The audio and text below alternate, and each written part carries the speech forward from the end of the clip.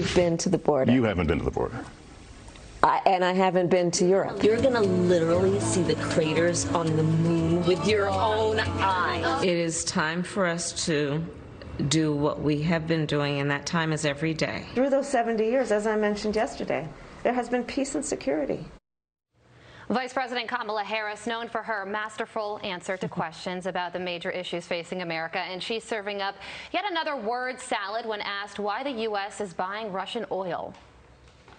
Understanding that right now, on the issue of energy, our allies have stood firm and unified in a way that many of the pundits didn't predict would happen um, to ensure that we are, we are unified in our approach to this issue. Huh?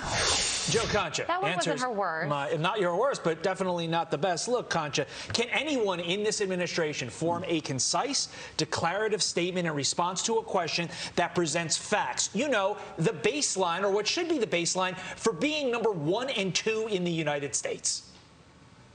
It appears to be uh, quite the challenge these days, and messaging obviously is important, and that's maybe why we're seeing poll numbers in the 30s across the board on major issues when it concerns Joe Biden and his team. And it's very apparent now that many voters, including Democrats, are having Biden's remorse, buyer's remorse, whatever you want to call it, over the choice of Kamala Harris as vice president. Uh, she's at 38% approval in her home state of California, and that is the deepest of blue states. She's failed on the border, obviously, her number one job, which she almost never talks about anymore. Why would she? And now she's supposed to be, you know, plan B, or at least she was going into this presidency. And now she's plan Z. And if Joe Biden doesn't run for reelection, and a majority of Democrats don't want him to in recent polls, it's hard to see any scenario where she replaces him at the top of the ticket because of answers like this, which seem to happen on a regular basis, guys. Yeah, and of course, in that soundbite, she said, uh, understanding that right now on the issue of energy, our allies have stood firm and unified.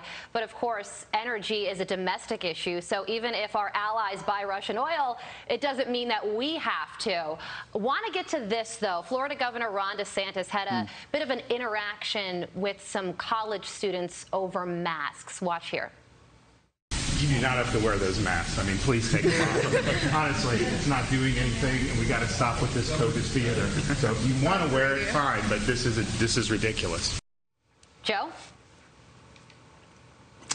Well, uh, this is why if Donald Trump chose not to run, Ron DeSantis would be going away, and I'm talking like secretariat proportions going away, uh, favored to win the Republican nomination because he's very consistent in his principles. And it should be noted, and I'm glad you played the full soundbite because I'm not seeing that in some other areas of broadcast news, uh, despite what some are reporting, that he said it was okay to keep the masks on if the students chose not to. And some did while others took them off. Choice, freedom, it's a hell of a concept, yet we're hearing that DeSantis demanded demanded that they take the masks off. And he said, no, if you want to keep them on, fine. If you don't want to, that's fine too. But this is theater. And he's right about the theater part. We saw that during the State of the Union. And look, a straw poll at a CPAC showed DeSantis getting 61% of the wow. vote if Trump doesn't run. His next closest potential competitors were even in the single digits. Uh, and that's it. So he's leading comfortably in his Florida governor's race. That's not going to be a problem over his potential challengers there. And he's the one candidate, guys, that if Trump weren't to run, that Trump supporters would embrace just as warmly. You can't say that about some of the other potential Republican candidates that are out there. He's another Trump, except a younger version of him, and perhaps without some of the baggage that the former president may bring along. A lot of intrigue on this over the course of the next two plus years. Finally, Joe,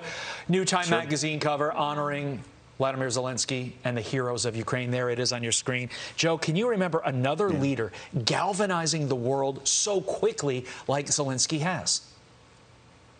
Kudos to Time Magazine, uh, and, and, and, thanks to solid reporting on the ground uh, by many news networks, including this one, and social media, the world has learned just how brave and courageous and unselfish the Ukrainian people and its leader and President Zelensky is. But you just have to wonder how long can they hold off this Russian onslaught, which is insidious and relentless, as you've been reporting all morning, targeting civilians, women, children. Food and water and electricity is increasingly becoming a crisis before our eyes on our screens. We're all praying this summer somehow can end sooner rather than later. But the world is rooting for Ukraine as one because of its leader and because of its people. It is just so inspiring, and uh, Yeah. there's not really much else to add to that. And uh, the translation of the headline on that Time magazine cover, it's a quote from what Vladimir Zelensky said dur- uh, during his speech to the European Parliament, and it's uh, life will win over death and light will win over darkness. Joe, thank you so much for joining us.